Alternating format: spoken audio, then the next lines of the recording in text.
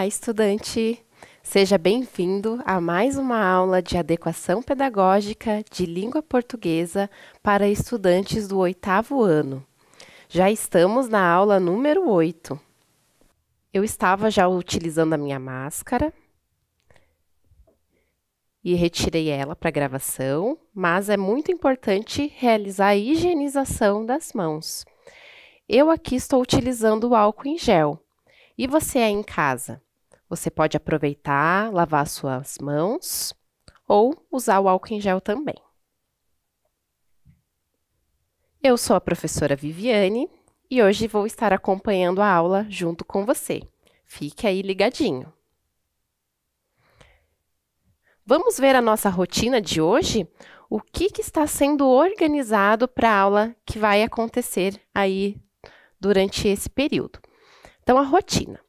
Primeiro, a organização dos materiais, o registro da data e da aula de hoje, relembrando a aula anterior, imprensa, quiz e, por último, o desafio.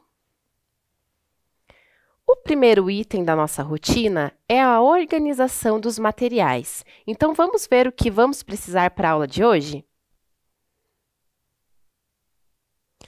Um caderno ou uma folha de sulfite para o registro das atividades, lápis preto ou caneta, borracha e um apontador. Então, a lista vai ficar disponível aí na tela Vou dar um tempinho para que você se organize, aproveite também e faça a higienização dos materiais e das suas mãos e logo eu retorno.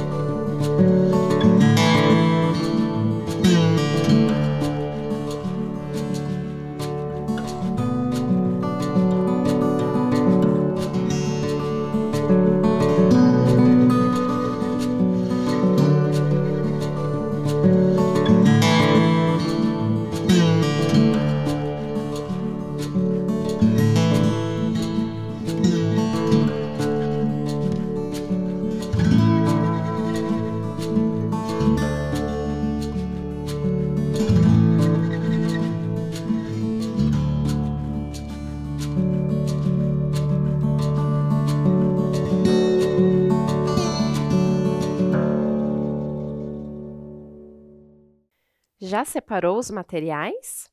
Agora é o momento do nosso registro.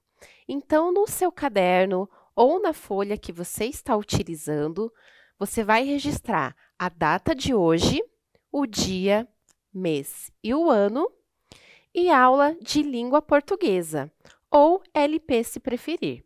Vou dar mais um tempinho para que você realize o seu registro e logo eu retorno.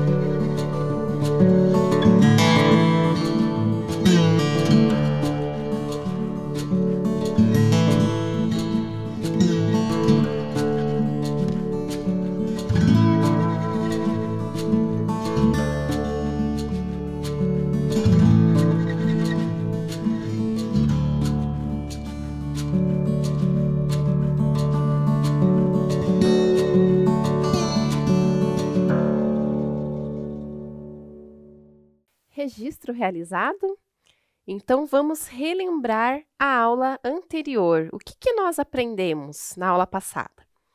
Então, nós vimos sobre o gênero gráfico, né? Então, a partir lá de um texto que informava sobre o número de inscritos nas redes sociais, né, através ali de um texto corrido, as informações estavam um pouco bagunçadas, né? Então, o gráfico é, vem já para nos auxiliar com informações mais claras e mais dinâmicas.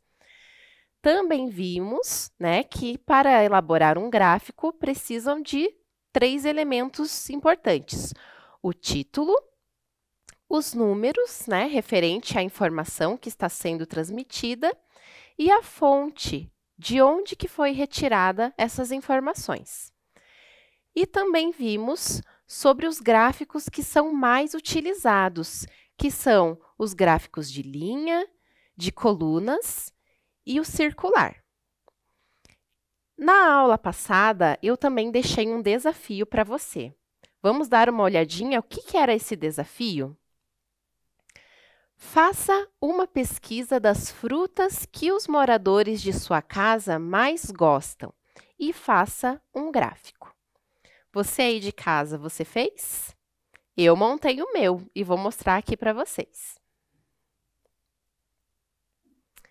Então, lembrem-se dos elementos que precisam ter no gráfico: o título, os números e a fonte.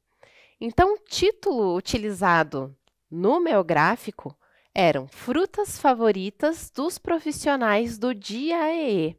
Mas o que é DIAEE? É o Departamento de Inclusão e Atendimento Educacional Especializado aqui da Rede Municipal de Curitiba. Então, todas as professoras que trabalham nas aulas de adequação pedagógica e outros profissionais fazem parte desse departamento. Então, eu selecionei 13 profissionais para realizar essa pesquisa. Então, aqui já estão apresentadas as frutas favoritas, né? Que ficou o morango, com três pessoas, né, que escolheram. O abacaxi, uma pessoa escolheu. A maçã, quatro pessoas escolheram como fruta favorita. E a laranja, cinco pessoas escolheram essa fruta como favorita. Então, mesmo que os números ali não estejam visíveis ou aparentes, a gente consegue perceber através das colunas qual que é a fruta preferida ali entre todas, que foi a laranja. E por fim, a fonte, né? Lembram que sempre precisa ter, né, de onde que foi retirada essa informação. Como eu não retirei de nenhum local, de, da internet ou do jornal, eu coloquei aqui que foi elaborado pela própria autora, ou seja, foi feito por mim. E o ano de 2021, que foi o ano realizado a pesquisa. Também fiz aqui o mesmo gráfico que está ali na tela, eu montei aqui através da, da folha, tá? Então, o morango, três pessoas que escolheram. O abacaxi, uma pessoa que escolheu como fruta favorita. A maçã, quatro pessoas que escolheram. E a laranja, com cinco pessoas. Espero que você, estudante, tenha compreendido exatamente o passo a passo de como fazer um gráfico. Agora vamos ao tema da aula de hoje. Mas antes, eu tenho uma perguntinha para te fazer. O que essas imagens elas têm em comum? Então, a primeira é um jornal, né, com alguma notícia ali do dia em destaque. A segunda imagem representa uma moça ali fazendo uma leitura, né, através do seu computador. Na próxima imagem, vemos ali um aparelho de celular, também transmitindo algum tipo de notícia. E, por último, uma televisão. Essas imagens, além delas serem meios de comunicação, elas também veiculam notícias. Durante a aula Paraná, foi trabalhado é, sobre o gênero textual notícia e também o significado do termo imprensa. O que, que é? Né? Então, temos dois significados que podem né, estar agregados aí com esse termo. O primeiro deles, um conjunto de jornais, jornalistas e dos meios de divulgação de notícias. E o outro termo, estabelecimento onde se imprime ou a máquina utilizada para imprimir. Então, esses dois conceitos é, significam o termo imprensa. Também vimos, durante a aula Paraná, a linha do tempo relacionada à criação da imprensa e a relação dela com o cotidiano. Então, vamos ver ali um por um, né, dessa, de toda essa evolução, de toda essa história da imprensa e dos meios de comunicação. Então, no ano de 1440, foi criado a, empresa, a imprensa perdão, por Johannes Gutenberg. Então, essa máquina ela nada mais era que uma impressora, mas isso muito antigamente, né? Não é comparado com a impressora que utilizamos no dia a dia. Então, lá antigamente, essa máquina era feita para ser é, impressa alguns materiais, porque o que acontecia? Quando precisava realizar uma cópia de um livro ou de algum outro material escrito, a pessoa precisaria realizar essa cópia de modo manuscrito, ou seja, ela teria que copiar escrevendo aquele material. Com a criação da imprensa, é, era utilizado um molde, como se fosse uma forma, e dentro dessa forma haviam moldes de letras é, que eram combinadas de acordo com o material que iria se fazer a cópia. Aí, após isso, passava-se uma tinta por cima desse molde e prensava, e assim realizava a impressão de materiais em grande escala. É, a criação dessa máquina foi muito importante naquela época. Por quê? É, naquele tempo, apenas pessoas que financeiramente tinham condições que tinham livros, que tinham materiais, né, que é, veiculavam notícias ou outras informações de estudo, e as outras pessoas que não tinham tanto dinheiro assim, é, ficavam né, sem a informação. Então, isso possibilitou para que as pessoas é, tivessem acesso à informação, à leitura, né, à impressão de jornais, inclusive, é, garantindo aí o acesso à informação para todas as pessoas. Na sequência, em 1830, foi inventado o telégrafo. Esse equipamento não é utilizado né, por nós no dia a dia, mas naquela época teve muito significado também né, para a comunicação. Esse aparelho, como vocês podem ver, aqui tem uma, uma mão na qual pressionava né, esse botãozinho. Então, isso emitia um som. E a combinação desses sons poderiam formar letras ou a combinação dessas letras, frases. Então, gerava também uma comunicação a longa distância. Então, naquela época, foi bastante importante. Lembrando que nesse período não existiam celulares, telefones, né? A comunicação ela era bem limitada. Então, por isso que nesse período foi muito importante a criação desse equipamento. Na sequência, em 1876, a primeira transmissão de voz via telefone foi realizada. Então, só observem, né, o primeiro telefone como que ele era, muito diferente, né, dos que a gente tem contato hoje. E eu trouxe aqui também um telefone que não é o primeiro, mas que ele é bastante antigo. Então, o telefone, né, residencial e a forma de discar, como vocês podem ver aqui, ela é girando. Então, ó, você selecionava o número que você ia discar e girava cada tecla até você finalizar ali o número do telefone. Então era bem diferente do que a gente está acostumado a utilizar. Já no próximo item, né, bastante importante, foi a criação do rádio, né, no ano de 1896. Então, o rádio também foi um marco né, na história, principalmente na transmissão de informações. E até hoje ela é bastante utilizada, porque nem todos os locais têm acesso à internet.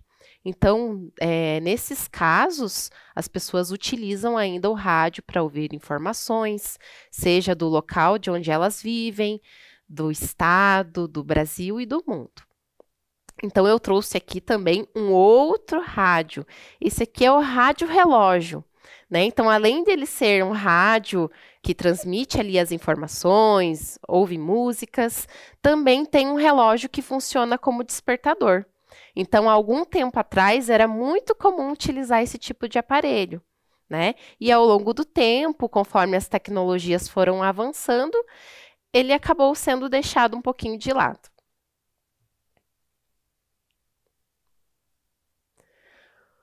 O próximo item é a televisão. Então, olhem só a imagem, como ela é diferente né, da televisão que a gente está habituado né, a assistir. Então, no ano de 1927, as primeiras transmissões de TV foram realizadas. Claro que as transmissões não eram as mesmas que a gente está acostumado a assistir. Então, por exemplo, a transmissão ela era realizada nas cores preto e branco. Não eram coloridas como a gente tem o costume de assistir, né, hoje em dia. Aí eu também trouxe um aparelho de televisão, que é este aqui, ó, uma TV portátil. Então, essa TV, além dela ser também é, transmite é, informações via rádio, ela também é televisão. Então, a pessoa podia né, levar em qualquer local para assistir, é, ligava na energia elétrica e assistia a sua programação. Então, bem diferente né, do que a gente visualiza hoje em dia.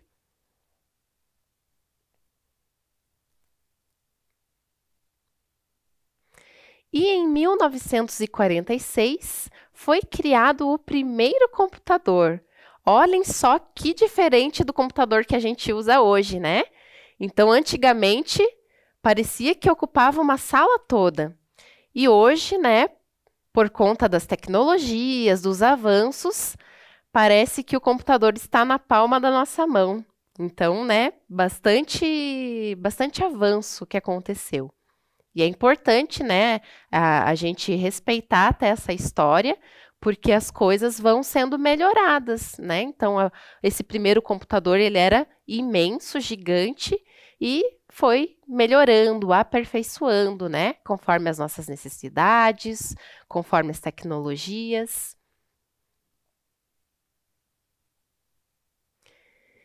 E no ano de 1956, o primeiro celular foi construído. Olhem só que diferente esse aparelho celular do que a gente usa hoje. Muito diferente. Eu mesma confesso para vocês que eu não conhecia esse aparelho de telefone. Trouxe aqui também um outro celular, que não é o primeiro, mas ele é um celular bastante antigo. Então, podem ver, né? Se for comparado com o smartphone, que é mais utilizado hoje em dia, os botões aqui, né, são através das teclas. Ele era um celular mais limitado, né, as, as configurações. Então, hoje em dia, por exemplo, no celular a gente consegue acessar a internet, redes sociais, fazer inúmeras funções. E este aparelho, por exemplo, era limitado a receber ligações e, e ligar, é, receber mensagens e enviar também, é, poucos jogos. Então, as funções eram bem limitadas para aquela época, tá? E por último, na década de 60, a internet ela foi desenvolvida. Então, não significa que já na década de 60 todas as pessoas tinham acesso à internet. Pelo contrário, ainda nessa época era limitada né, a poucas pessoas.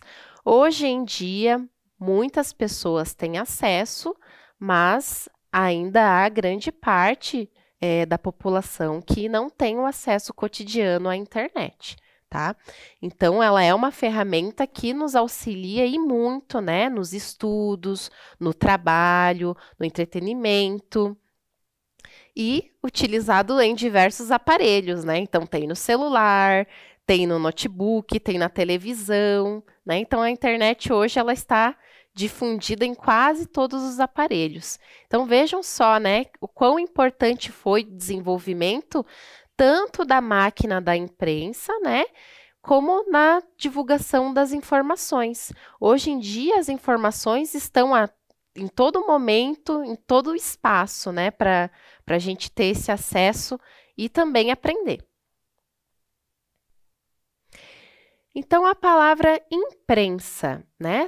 Que letras que utilizamos para formar essa palavra? A letra I, M, P, R, E, N, S, A. Quantas letras fazem parte né, dessa palavra? Uma, duas, três, quatro, cinco, seis, sete, oito letras no total. A letra inicial da palavra imprensa é a letra I.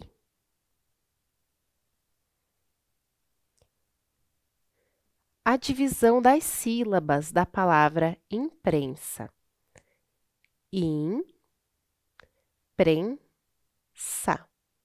Então, temos uma sílaba, duas sílabas, três sílabas no total.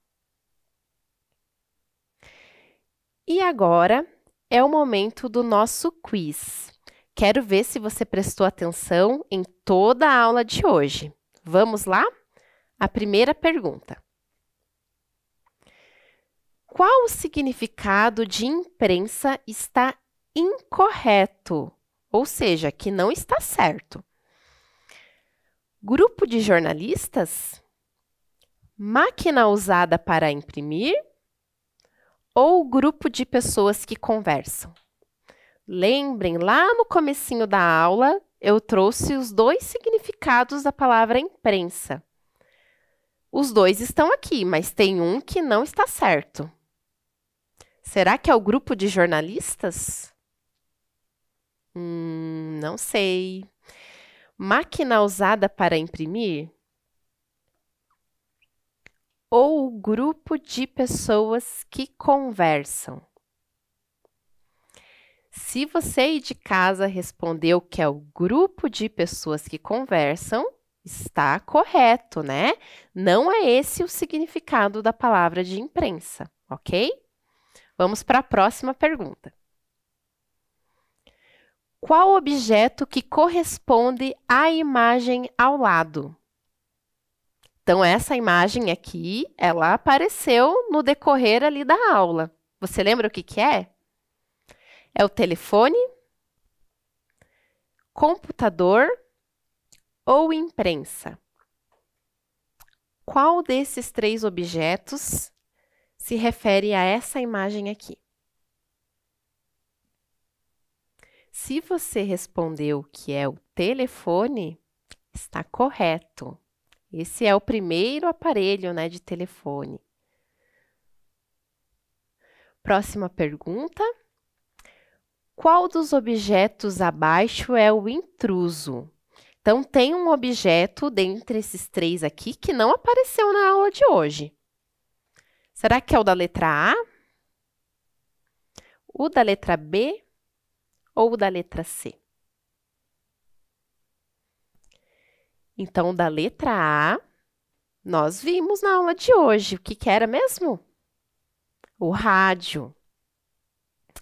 O da letra B, eu não estou lembrada desse objeto. É uma máquina de costura. Será que estava na aula de hoje? Não, né? E o da letra C? Era o primeiro aparelho celular, né? De telefonia móvel.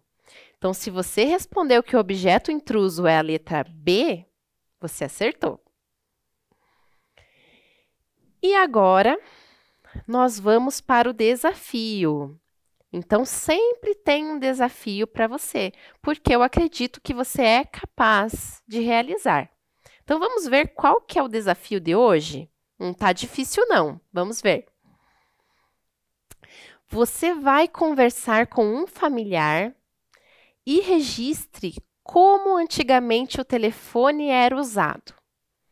Então, nessa atividade, você vai escolher uma pessoa da sua família mas procure conversar com alguém que seja mais velho que você. Então, não adianta pegar uma pessoa que seja da mesma idade que a sua, ou uma pessoa mais nova que você, porque vai ser muito difícil dela responder essa pergunta. Então, se você perguntar, por exemplo, para o seu pai, para sua mãe, para a avó, para o vô, para os tios, provavelmente eles devem ter vivenciado esse período. Então, você vai perguntar para eles como que lá antigamente o telefone era usado. Será que é da mesma forma que a gente usa hoje em dia? Não sei. Vai ficar como tarefa de casa. Então, eu vou dar um tempinho para que você realize o registro no seu caderno e logo eu retorno.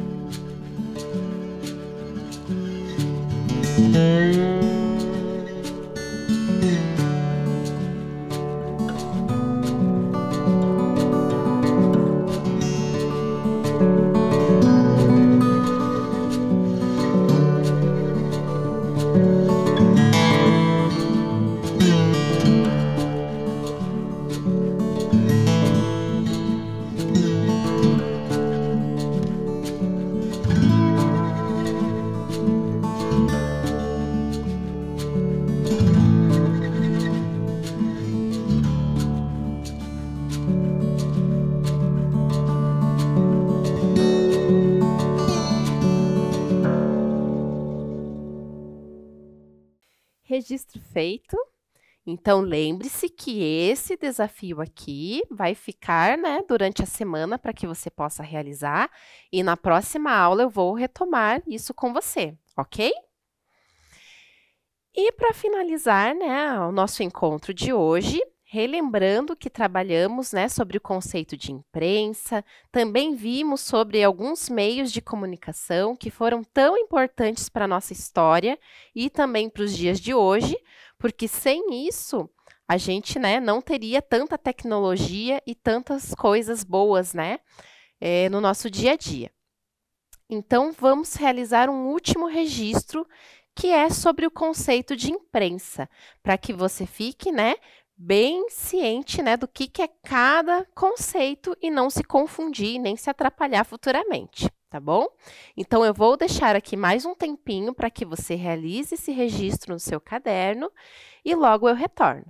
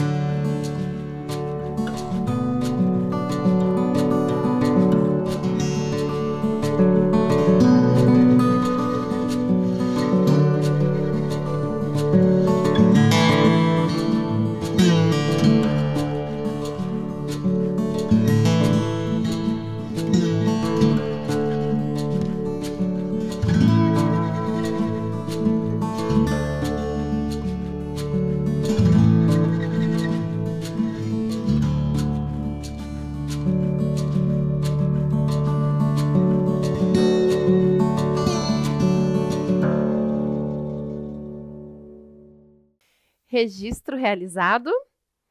Então, agora estamos finalizando a nossa aula. Só que antes, vamos ver se cumprimos tudo que foi proposto lá no comecinho da aula, através da nossa rotina. Organizamos os materiais da aula de hoje? Sim. Registramos a data e a aula de hoje também. Relembramos a aula anterior, então vimos a respeito dos gráficos, né, os tipos de gráficos mais utilizados. Também vimos as características de um gráfico, o que, que precisa né, conter nesse gênero textual. E também resolvemos a atividade da aula anterior, né, o desafio. Vimos também o conceito de imprensa, né? Vocês acabaram de realizar o registro e também no decorrer da aula vimos tanto o significado, né, que pode trazer essa palavra, como também os elementos que compõem, né, a imprensa e toda a sua história. Também realizamos o quiz, né, no qual vocês tenho toda certeza que foram super bem. E, por último, o desafio, né? Que era o que mesmo? Conversar com uma pessoa da sua família, né? Uma pessoa mais velha. E essa pessoa vai relatar como que o telefone era usado lá antigamente, ok? Então, finalizando a nossa aula, mas lembre-se, se você precisar sair de casa, use a máscara o ideal é você continuar se cuidando, se protegendo. Eu vou aqui higienizar as minhas mãos, pois eu tive contato aqui com vários materiais né, durante a aula. Você também aproveita e higieniza sua mão, porque é cuidado para você e cuidado também para as pessoas que estão ao seu redor. Ao sair daqui também já vou aproveitar e colocar minha máscara né? Porque eu vou estar tá saindo do estúdio. Espero que tenha gostado da aula de hoje e eu encontro você na próxima aula. Até lá!